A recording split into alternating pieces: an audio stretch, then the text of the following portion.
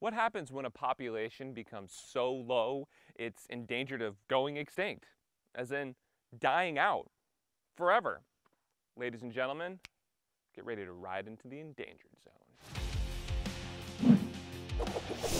Endangered species are species that are at risk of going extinct in the near future.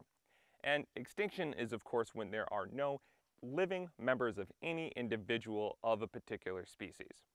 Dinosaurs are a flashy example.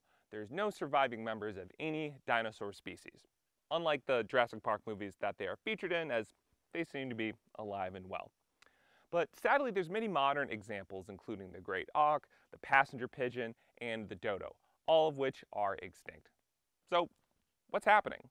What is causing species to go extinct? Let's start with the biggest reason, habitat loss. At the end of the 19th century, the Everglades covered most of the southern tip of Florida. Sawgrass prairies and other wetland ecosystems stretched from the Gulf of Mexico all the way up to Lake Okeechobee. But by 1900, millions of acres of this precious ecosystem was being drained for agriculture and development. Today, less than half of the original Everglades habitat remains intact.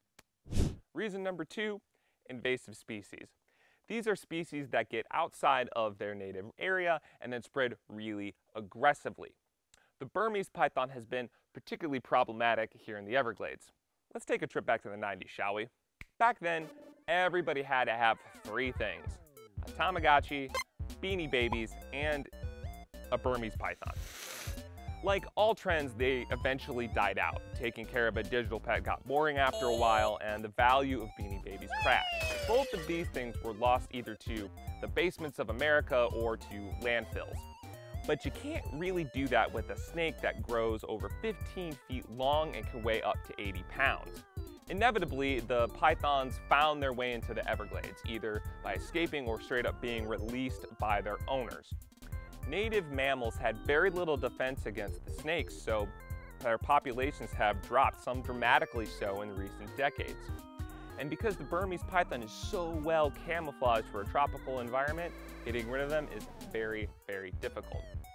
There's other invasive species in the Everglades as well, like the lionfish, the Australian pine, and the Brazilian pepper tree, but the Burmese python has been a real menace here.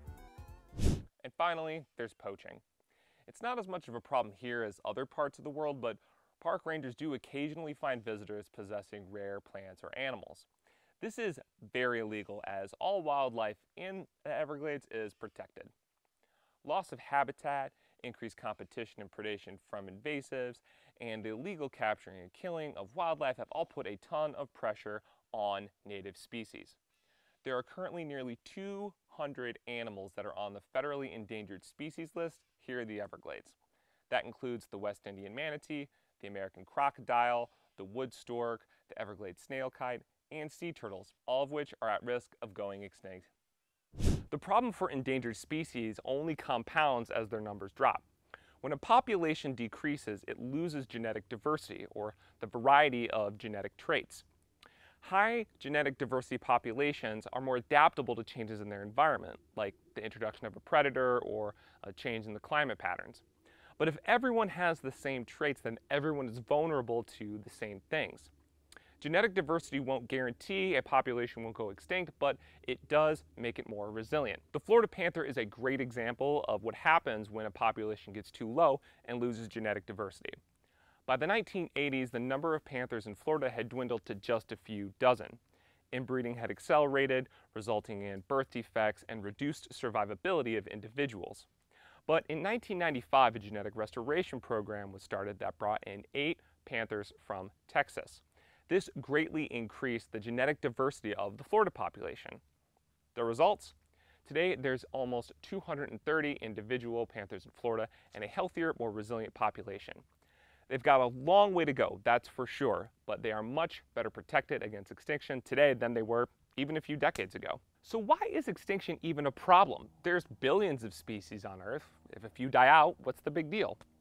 Think of an ecosystem like a tower of Jenga. Take away one block and the tower will still stand, but as the game progresses, you take away more blocks, and the tower gets less and less stable. It'll be harder to take out pieces without knocking it over until the inevitable happens and the tower collapses. And that's exactly what can happen to entire ecosystems. It's the same way in the natural world. Take away one organism that many others rely on for survival, and the whole ecosystem can fall apart. So what can you do to help endangered species? Give them a home, of course.